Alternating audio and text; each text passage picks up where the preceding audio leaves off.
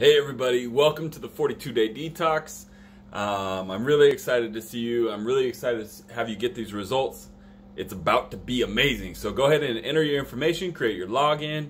Um, there's a whole bunch of cool stuff inside, all the exercises, all the meal plans, recipes, all of that. Um, let me know what you think and if there's any tools or anything like that you think that we could add to it that's going to make it especially beneficial for you.